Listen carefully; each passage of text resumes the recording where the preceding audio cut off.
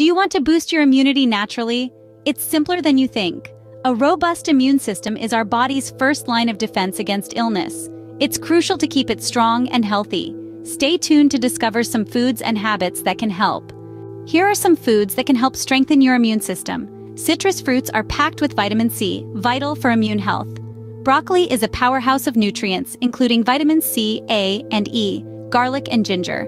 Not just flavor enhancers, but immunity boosters too. Spinach rich in vitamin C and packed with antioxidants.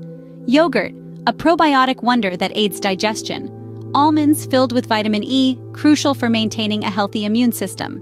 Lastly, turmeric, with its anti-inflammatory properties.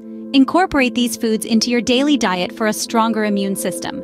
Besides food, adopting certain habits can also boost your immunity. Regular exercise, for instance, can help flush bacteria out of the lungs, reducing your chances of getting a cold or flu. Adequate sleep is another immunity booster, as it helps your body rest and repair. Staying hydrated is essential to maintain good health.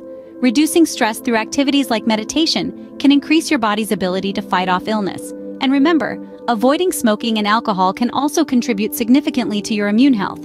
Start practicing these habits today for a healthier tomorrow. Your health is your wealth. It's time to take the reins and boost your immunity.